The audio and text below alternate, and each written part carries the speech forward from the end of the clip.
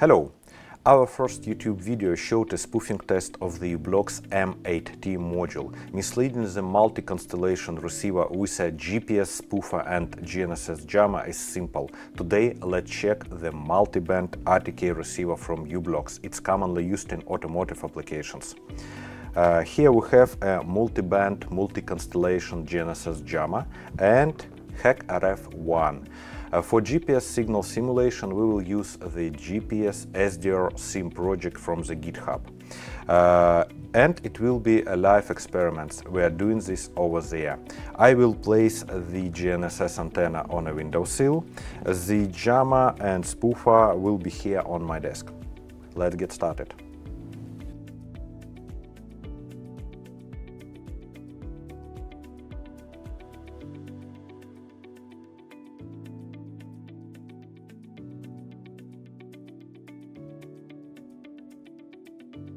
I will not waste your time explaining how to run the GPS spoofer. There are many instructions on YouTube. I have already prepared all the necessary files. Uh, they are here in the folder. Okay, here you see the current coordinates and that the GNSS receiver perceives GPS, Galileo, GLONASS and Beidou satellites in two RF bands. Uh, let's run the spoofing. Please remember that we are going to generate a signal only for the GPS L1 band. This is the spoofer's configuration. We simulate false coordinates and we set the time for midnight on the 1st of January. Okay, run.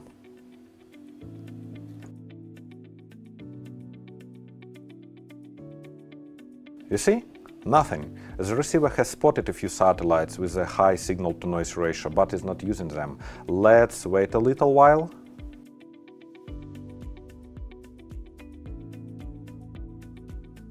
Nothing.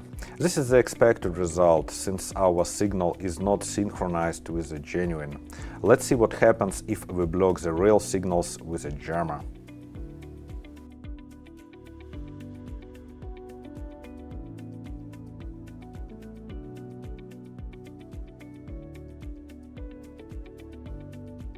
The jammer's power is too high and we block even our fake signals.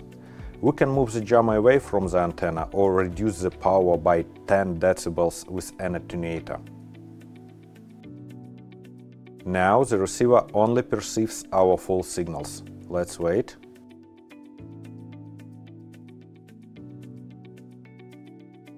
Yes, take a look. The timestamp has changed to the 1st of January.